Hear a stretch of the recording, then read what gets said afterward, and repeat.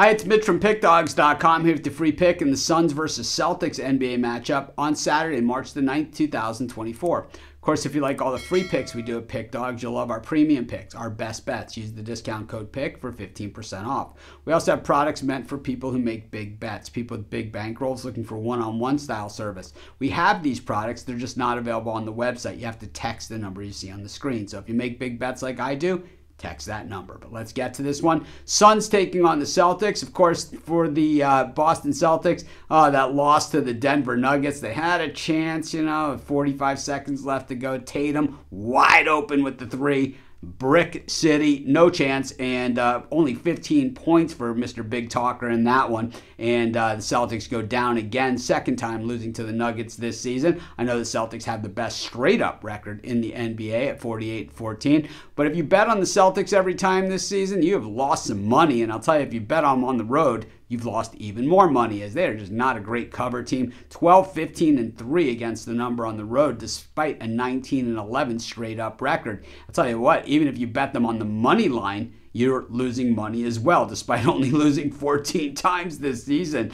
Um, those 11, if you bet on money line on the road, you've really taken a beating this season on the Celtics. So one of those things where it's like they're winning a lot of games, but they've been favored in all, in all of the games too. So it certainly doesn't help you. When we look at the Phoenix Suns, 20 and 13 at home this season, 36 and 26, 6 and 4 in their last 10 games. Of course, they've got a lot of superstars on their roster, guys that have kind of been there and done that. So while the Celtics have a lot of guys that are playing well, putting up big numbers, the Suns actually have guys that have done it before, like Kevin Durant, who uh, you know has some hardware. This is the first meeting of these teams this season. We're seeing that as a common trend. And the Celtics coming into this one on a two-game losing streak. So for a team that's you know lost only 14 times all year, a two-game losing streak is about as bad as it gets for them. Meanwhile, on the other side of it, the Phoenix Suns come into this one on a two-game winning streak beating the Denver Nuggets in Denver. Of course, Denver could have been looking ahead to that Boston game. It doesn't really matter. They beat them in Denver. They beat them by double digits, and then they come back, beat the Raptors by seven in a game that they're favored by 10 and a half.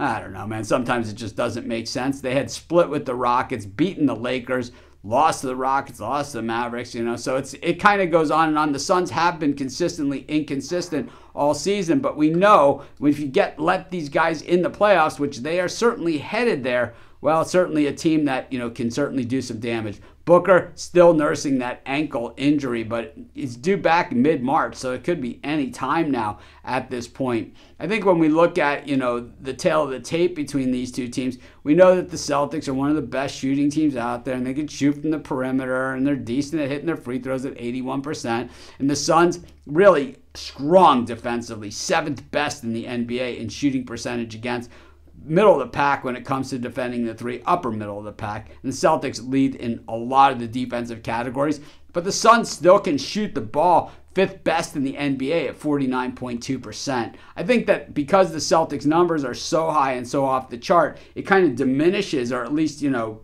yeah, diminishes really what the Suns have accomplished this season and the way the Suns are more of a big effort team on the boards. The Celtics are so soft. I think the Suns have a chance to win this game pretty solidly. I'm going to take the Suns, and that's going to be my free pick. Of course, while you're doing your picks, putting your bets in, be sure to use our free betting tools at sportschatplace.com. 100% free, and they'll help put you on the most favorable bets on the board today.